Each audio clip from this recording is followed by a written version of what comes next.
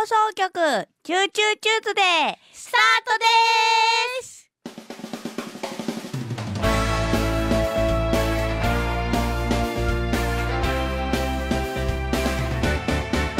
レッツゴ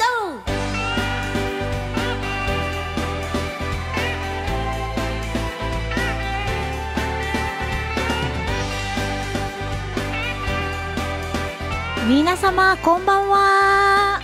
こんばんは。アーティストひまわりでございます。アシスタントのまゆみんです。だいぶ涼しくなってきましたね。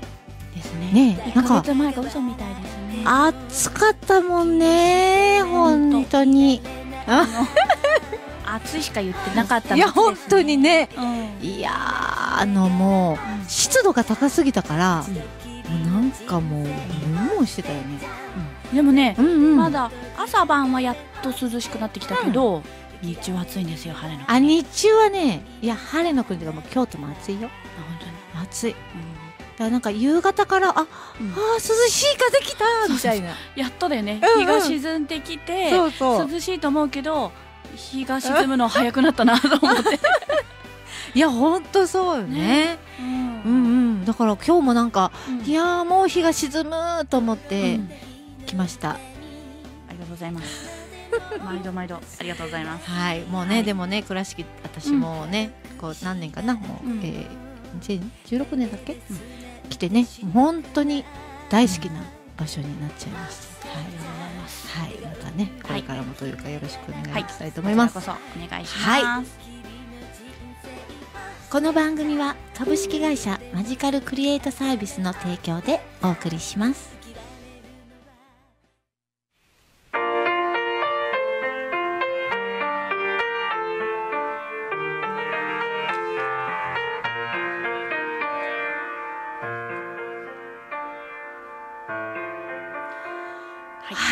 わけではい。今日ははい。こんな感じではい。お送りします。でも早いものでうん。4月から始まった番組も一応そうね。今月が今区切りと月でねちょうど半年たですはい。ね、い、ろいろなんかいっぱいあったけど、うん。何やりましたかね。まあ最近だと、うんう先月あの、うん。エヘム倉敷さんのイベントイベント行かさせてもらいましたよね。はい行かせていただきましてありがとうございました。ありがとうございました。楽しいひとときね楽しく過ごさせてもらって、まあ、ちょっとね当日お天気が、うん。あの雨だったから、うんうん。あのホールの方へ、そうね、うん、でもねあのホールもまた良かったよね。あのホールねね新しくなったんですねなんか。新しくうんうん。建てられたホールなんです、おーすごい。良かった。うん、ね私も初だったからあそうすかごいキョロキョロ。あうんうんうん。うわーすごいと思って見ねてましたけども、ね。え、うん。私もこっちね来させてもらうようになって、あのアイビースクエアさんはうん。結構ね立ち寄ったりして。そうなんだ、うんうん。うんいるんで、あの、うん。こうちょっとね外歩いてみたりとかしてるんですけど、うん。うん、よイベント本当良かったですねかったですね。本当何が良かったでですか？いやでもね、私やっぱりあのうんやっぱりやっぱあの歌あやはり、ねアーティストとして。あのま、うん。まゆみゆさんでしたっけ？そうですね。うんのうん。でもねやっぱり私はあの夏の終わりのハーモニーあれが良かった。かったね。もうすごい良かった、うん。やっぱりね、うん。あの姉妹うん。さんでね、やっておられるからね双子さんだったっけ、だからなんか声のねハーモニー感がすっごく良かってうん、うんいやめっちゃいいと思って。聞き惚れてたもんね。うん。うんもうねあのいいろいろうん。みんな良かったんですけど、うん。一番印象に残っうんたかな、それが、うん好きな曲でもあったんだよね、そう。いろいろとねジャンルも幅広くそうそう天城城声からね。ねあれも良かった。ねうん本当にうん。ええわ思って。さすがアーティストを見る目が違います、ね、いやいや本当良かったです。ね。うん。そんなこんなですけど、うん。でもうんどうでしょう半期ね、うん。何が一番たくさんしてたかな。でもううんん私はでもひまわりさんんといえばうんやっぱりひまわりの映画コーナーじゃないですか？あ映画コーナーやってましたね 結構だって見てきたでしょこの4月から9うん月で。そうねなんかね結構、まあ、仕事終わってからうん。レートショー、間に合ったら見ようみたいな感じで駆け込んで、うん。一回ね映画館に行くとなんかね、また行きたくなるんですよね、だからどうだろう。10、ねうん、15本から1718本ぐらい見たかもねこの半年。私両両手ぐらいかなと思ったら もうもうもう一本つ追加だったね。へえ、うん、なんか結構、うん。結構見ました。うん。だからあのねあの空母息吹とかああいうやつからうん。まあねあの、うん。アラジンとかね、うん。ねとかから見ましたけど、うん。ね。どれかちょっと今でも。いや多分どれもいいと思うけど。んどれも良かったんですけど、うん。今ふっと出てくるのは、うんうん。やっぱりあれかな。小さな恋の歌？うん。小さな恋の歌？あのモンパチさんのうん。あの、あの曲ね。うん。だよね。うん。うん。あれがねテーマソングになってた曲なんですけど、あれが私あれすごい泣いたんですよね。うん。あれ結構ね、うん。すごいこうすごい有名どころっていう映画ではなかったんだけど、うん。まあ青春映画まあ私青春映画好きなんですけどね、うん青春映画かなーっていうノリで行ったのと、うんまあ私まああの俳優の佐野佐野勇斗君推しなもので、うん。まあ、それもあってうん。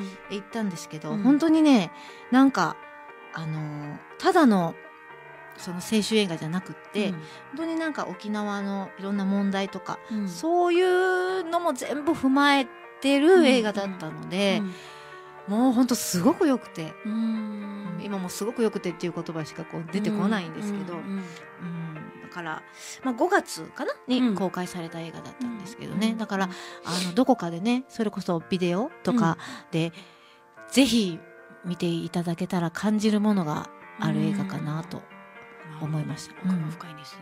そう。本当になんか表に出てるのはねなんかうん。あのまあある高校生の熱いバンドみたいな、うん。そういうところはあったんだけども、うん。そういうノリではなかったですね。うん。うんだからあの青なんかね青夏君に恋した30日っていうのね、その佐野勇斗君が出てて、うん。うん。まあ、それを見てから好きだなと。佐野くん推し？佐野君推しやつ好きなんです、ああいうなんか、うん、感じが好きで、なるほうどね。んまあ皆さんあまりどうだろうねご存知あるのかないのかあれなんですけど、うんうん私は好きな感じだったので残っております。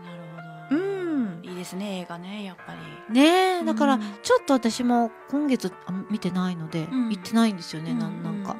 がまた10月からね、うん。うんまあ、秋といえばうん。映画館ということでね、また行き始めたいなと思っております。なるほど。うん、まゆみさんはな何か、私もですねあ芸術の秋うん芸術の秋だし芸術のやっぱ半年でしたね。うん。コンサート行ったり舞台見たりああとちょっと最近は絵画展の方にも。あいいね、うん。絵もいいですよね。絵も行ってきましたし。それこそ映画もうんうん。久々に見たのが「ライオンキング」でした、ライオンキングね。よかった感動の、う、うん。本当にうん。ね、動いてるというか。うんうんうんうん、ね多分コンピューターなんだけれども本当本当の動物さんがうんうん。動いてるみたいだったしでその吹き替えのシンバの子役の子かな、がねうん。うん岡山出身の子ああそなんですよね。うか、うん、で歌声もねあの注目されてたから、うん、聞いてるとやっぱりね上手です。やっぱいいですよね。うん。でそこから大人になったシンバのうんうん。俳優さんへと声のもね、うんバトンタッチしていって、シンバね。いいですよね。うん本当に？でもねお友達もねう見に行ってて、んこの間会った時に、はい。その映画の話になってはい。「よかったよね」とか「うん。ああだったよね」とか。で原作も知ってるから、うんうんうよね。原作とかミュージカルのここも再現してたよねとか。う、ん。でもあのあの役であの声はもうちょっと欲しく違う人が欲しいなとかいろいろね、熱く語っちゃいましたね。いろんな見方がありますよね。うなんかうん。こういうもんだったけどちょっと違うなとかね。うん。ねうん。いろいろね。あの原作があるものとかでもね、うん。原作はこうだったけどっていうのはまああるかもしれないですけど、うん。映画はねやっぱ深いですね。いいですね。そのライオンキングの映画見ちゃったもんだから、うん。ミュージカル版が見たいと思い、あでその劇場のあるね県に行く予定だったからあ。、うん。まあちょっとねサイトで見るとそれはまあ夏休みですしこのブームですからそうね。いっぱいでしたけども。う、そうね。んまた機会があったらね、うん見に行きたいなと、ねまたちょっと秋からまた芸術の秋、うん、えー映画含めね、はい。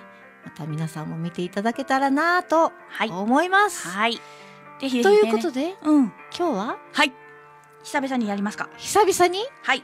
えーお送りしましょう。このコーナー。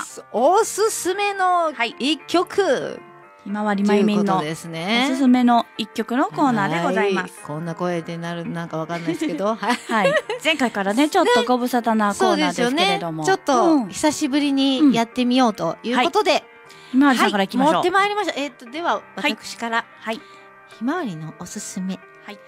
ですね。えー、っとですね、今回はね、うん。えーアーティストさん名としては、はい。月新さんというね、月新さうん。ん、カタカナでね、月新さんという方なんですけれどもね、まあ、本当にね、あのーまあ、アコースティックギターでうん。弾き語ったりとか、いろいろされている方なんですけど、うんうん。まあ、シンガーソングライターの方なんですけれどもね、まあ、こう流行ってる曲、まあ、うん。流行ってる曲もええけど、うん。心に残る曲歌おうと。うん。だからこういう感じのイメ印象を私は持ってまして、うん。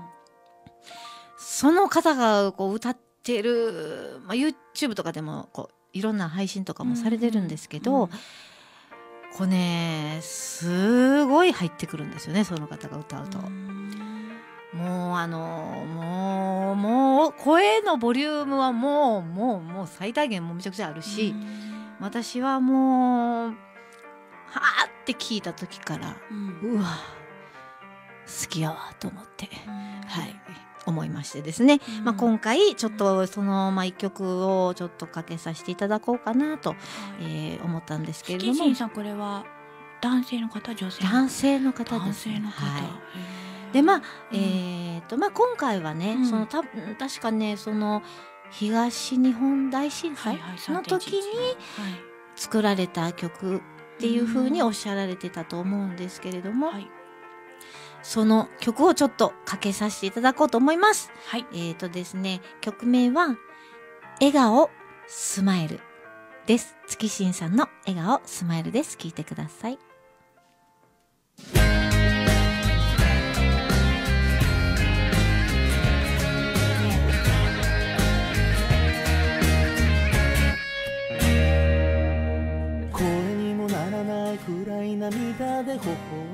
した。もう終わりだなんて思ったあの夜。目を背けることができたなら少しは楽だけど。立ちはだかる現実。なすすべもなく頭を抱えた。時間が解決できないことだってある。ない。そう怖くない。絶対大丈夫。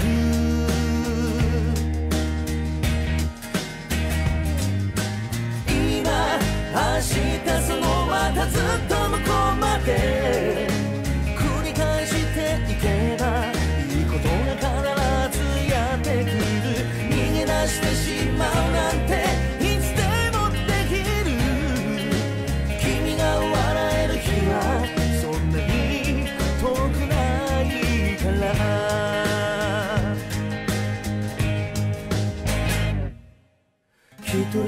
ちだと思って暗い部屋に閉じこもった。凍えた体を抱いて自分を愛した。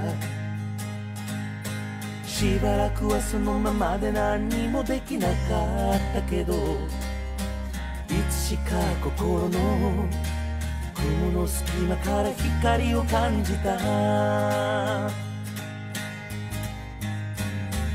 雨雲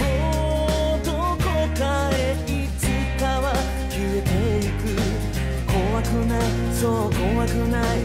絶対大丈夫。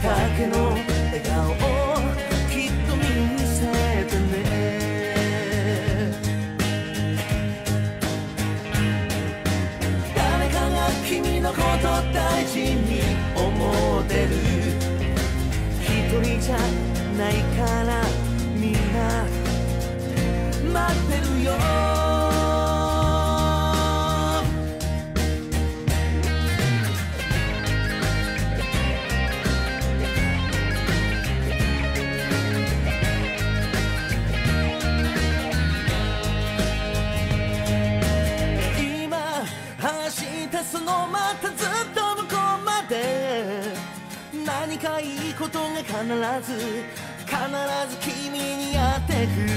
逃げ出してしまうなんていつでもできる。君が笑える日を消して。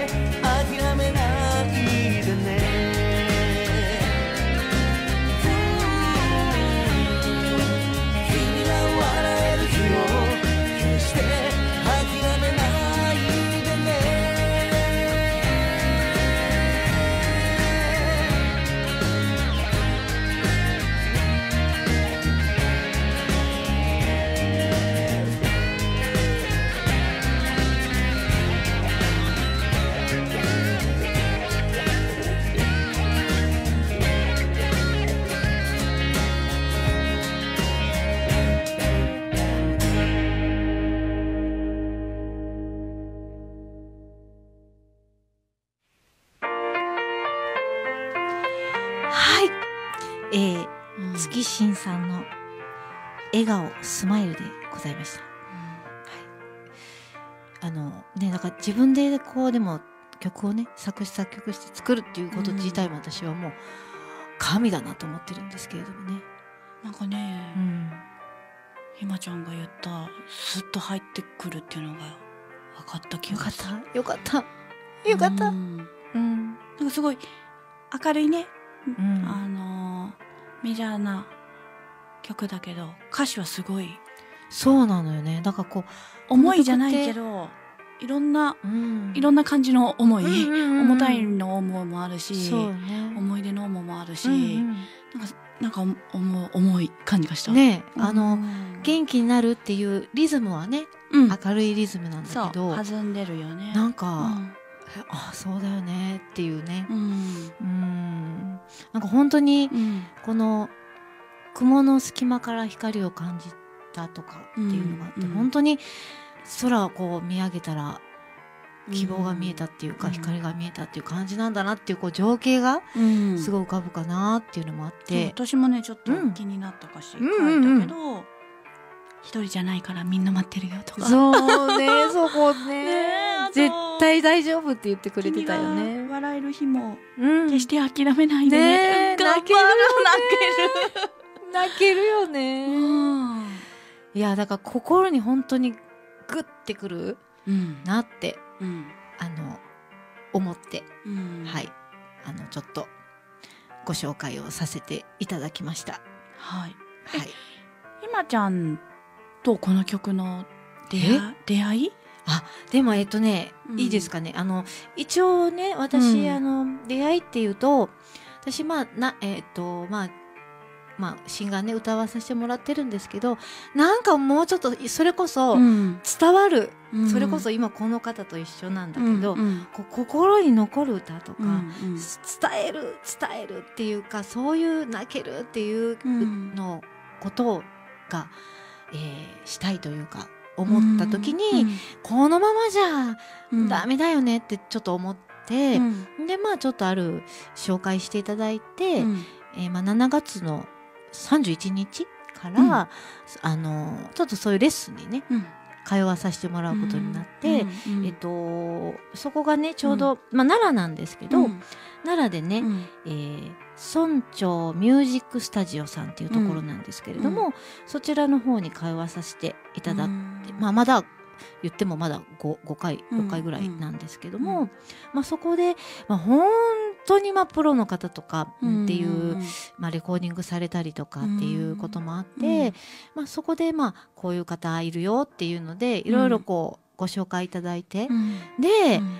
こうそれをこうあのこうそこで画面で流してもらった瞬間に、ううんわーすごいみたいな、うん。1秒であの私反応したみたいな感じ、あの方で、うんうん。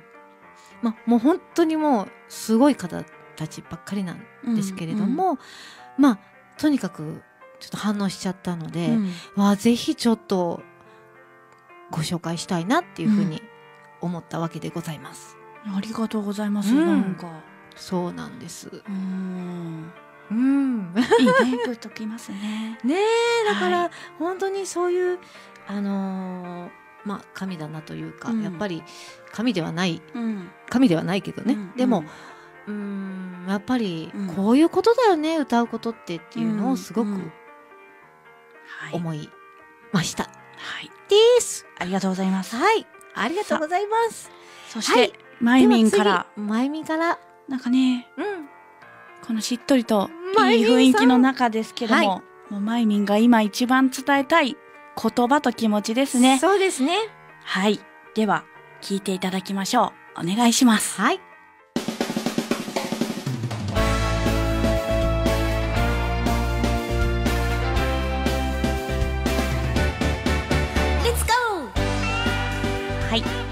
はいお送りしたのはスマップでありがとうでした。うん、いい曲でしたね。本当ねこの半年うん、我々がうん、放送できたのははい。リスナーさんのおかげでございます、本当にありがとうござありがとうごいますざいます。はい。そしてまわりさん。はい。お知らせがあるということで。はい、はありがとうございます。えっ、とですね、えーっとですね、10月の30日に大阪のアメ村、えーの方でですね、えー、イクシーズ2019フェスティバルナイトっていうのに、えー出演させていただくことが決まりました。